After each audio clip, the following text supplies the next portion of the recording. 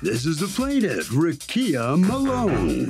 She says she sold the defendant a washer and dryer, and that dirty defendant hasn't paid her yet.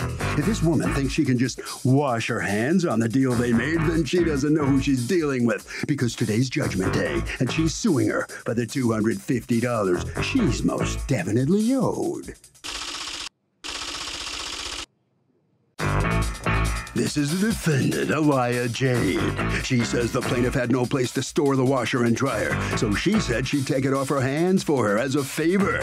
She had to pay her dad to pick the thing up, and they only worked one time before breaking down. Unfortunately, their relationship's now soiled beyond repair because she's not paying 250 bucks for something that was given to her. She's accused of staining a deal. All parties, please raise your right hand. Welcome back to the People's Court. Next case on the docket, the plaintiff sold the defendant a washer dryer and got stiffed.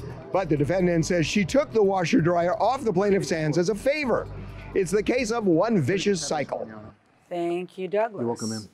Okay, how do you two know each other?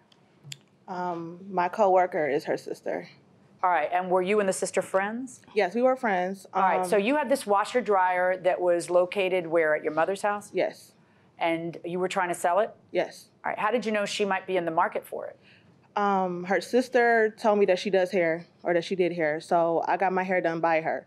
In the midst of our conversations, we talked about the washer and dryer. I mentioned it to her. Um, she texts me, I want to say in November about the washer and dryer, and then All right, so you guys go back and forth. You decide on a price of $250, Right. right? And, but she didn't have the money? No, she told me Where was the washer dryer located? Your it was in my mom's basement. And your mom was moving out. Right in, in January. So it had to go. right. Right. So what's according to you, what is the deal that you strike? She'll take it and then she'll pay you later. Right. And according to her, she was going to pay you. According to you, she was going to pay you when her taxes came in, right? Right. All right. Did she? No. What happened? I gave her a while until taxes hit. I texted her. I reached out to her. Um, the first time I reached out to her, she said that she had to send, submit paperwork for her taxes. And then in another month, so this was in April, I texted her again and I said, hey, you know, you haven't made it a priority to pay And by the way, when did she pick up the washer dryer? in January. Okay. And when I reached out to her again in April, she proceeded to tell me that she was going to block me and she wasn't going to pay me the money. Why? Yeah, had there been a problem with her sister and you? We had, me and her sister had fall, uh, fallen out, Okay. but that had nothing to do with Well, no, it shouldn't have anything to do with it, but it did, right? It probably like did. it sounds to me like it did. What was the problem with the sister? me and her had an incident that occurred. Well, can you give me some specifics? Um, sh- we had a falling out, Yeah, what happened? but that has nothing to do with the case. No, you want to tell me what the Yeah, falling out was I, I about? want to tell you everything. Yeah, but I want to hear exactly the answers to my question. You want to tell me what the falling out was about? Oh, the falling out was about the day that I was going to, cause the day that my sister called me, her and my sister got into it because she got caught sleeping on my sister's couch with a dude.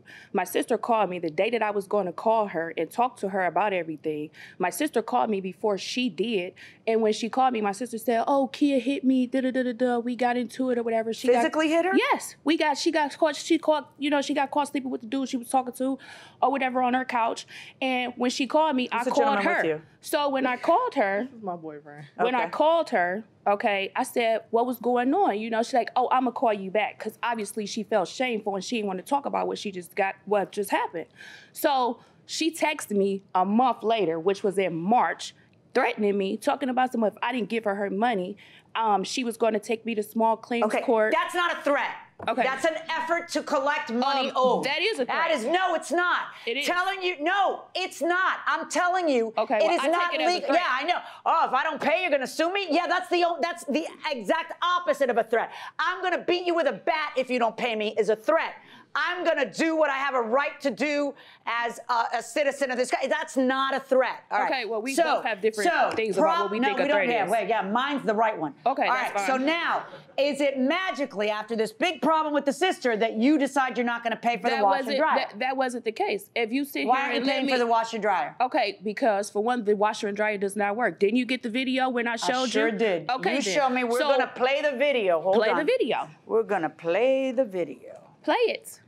That's exactly what I'm gonna do. honey. Okay. I'm gonna play the video. Didn't I just say I was gonna play the video? Yes, so play Oh, it then. Okay, well, the first thing that has to happen for me to play the video is my finger has to go from right here down here. Well, go ahead Can you wait that long? No, you should be able to go ahead and press it. I am, but I'm busy arguing with you about whether I'm gonna play the video not arguing with because me. you're smack talking about the video Okay, just like you about to be smack sitting up talk to her. like you Look at that, we missed the whole video.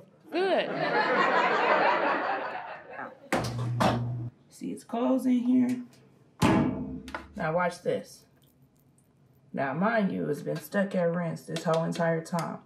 Now, this whole time it's been sitting there like that. So this washing machine is faulty. I'm sorry. So this was a video of the button in and the washing machine wasn't rinse. working, and then you pull the button out and it's working. I could No, go to my washing machine and push a button in, and then say, I guess it's not working. But look, if I pull it out, it's working. No, That's you kind of didn't weird. hear the dead noise. When when it gets to rinse, it stops like, and then I have to push when it did you back start in. having problems with the washer dryer? The, the first time I got it, she asked me, "Did That's I?" it- interesting. So can I see the text where you say to her, "Hey, this is I was is talking faulty." to her on the phone when I said this to her. Do to you have her. any text where you complain about the washer dryer not working? no, she asked. But this Any time before the fight she had with your sister? No, when I talked to her back in January after she came and got her hair done, I told her I said something is Um, not Douglas, working right with sorry, the washing machine. She said I will check it out when I come over there, and she never did. Yeah, that happened?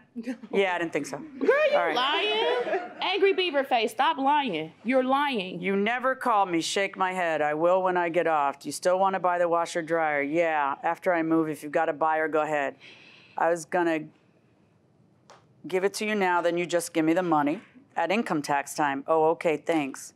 If you can get it before the 31st of the month, I'll give it to you for 250. Blah blah blah blah blah blah. Mm-hmm.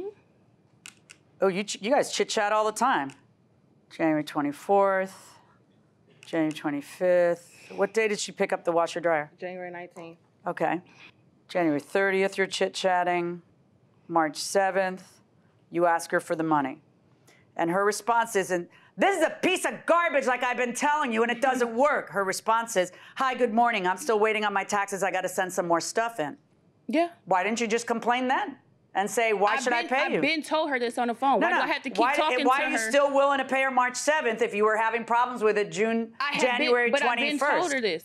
Hmm? I have been told her this. Yeah, I know, but why don't you tell her right now when she's trying to when Because she's hassling you for the money on the phone. When I've she's been told her threatening you for the money. I mean, I've been told her this.